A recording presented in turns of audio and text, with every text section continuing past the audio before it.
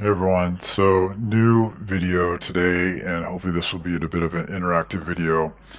I would like your opinion, your recommendations, and I'm also taking requests on what type of swimwear you would like to see me try out, use on an upcoming vacation to the tropics.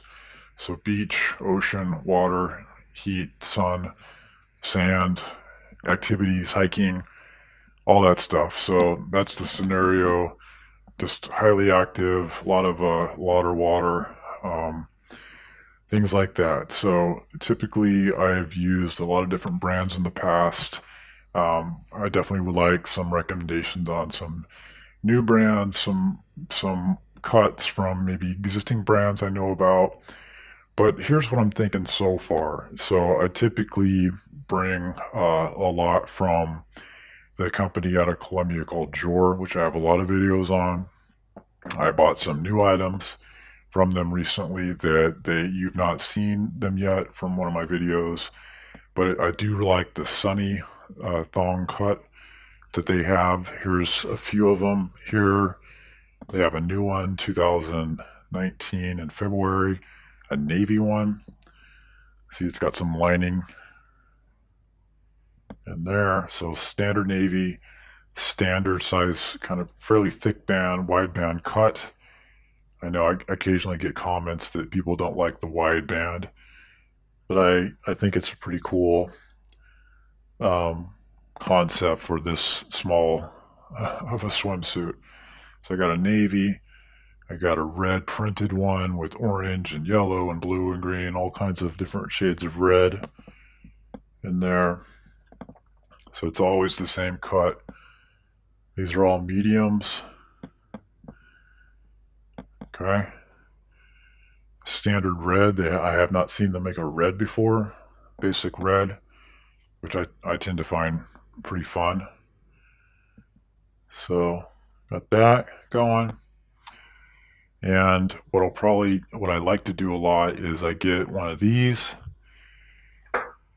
and I pair it with something like like these. So I've never tried this particular brand for a standard, somewhat standard swimsuit. So I got this navy drawstring, has a little bit of elastic in the band, shorter, it's a mini trunk, mini short. It's not tight. It's a Torino 787 Jor mini short all in navy, very small back pocket here, um, logo here. It does have lining in it. I always hate the lining from any swimsuit because it rubs typically. Um, I think it just looks goofy. I have some fancy Lululemon swimsuits that are mesh in there, and they just rub and they're uncomfortable, and they kind of, let's just say, they distort things. Later on, they kind of linger with you through the day. So if you go hiking for a long time and you got one of those things on, it just kind of annoying and uncomfortable. So I don't really like the, the lining. Sometimes I take it out, but whatever. What I prefer to do is wear something like this underneath, right? So you got layers on. This is, even though, you know, the cut is not for everyone, you don't have to take off your top swimsuit, of course. But this helps tremendously with the with the rubbing. Um, it's just more comfortable for the most part. Um, it doesn't leave you dealing with, with any um, kind of, you know, uncomfortableness later in the day from the mesh in some of the swimsuits. So put this on, wear them underneath. You can swim, do all that stuff, hiking for a long time, no problems. So probably layer something like this. So that's what I'm thinking about for the guess heavy rotation suits. I got some of the old standbys from you know Joe Snyder. Taking these with me in the past. These are pretty pretty small. Kind of a scrunchy back as well. Um, got these in 2018. Got these yellow and have these in green as well. Rough skin, kind of wide band cut. These are pretty comfortable. Um, they're stretchy. So yeah, I don't know about the color, but pretty wild. Then you get into the even more wild, maybe not for, certainly not the family-friendly beach. You got the N2N collection, you know, hike hikeaways, you know, put those on, swim around a little bit, you know. So you got the T-back, pretty stretchy, got a big pouch, even has a ring in it. This is not one that I would want to wear all day. So, and then I got uh, probably a bit more basic one, a bit of red maroonish color from N2N T-back. Pouch is kind of big, but um, pretty basic, smaller. And then you've seen this one in another video lately. I'm not quite a swimsuit and certainly want want to be around less people with this one.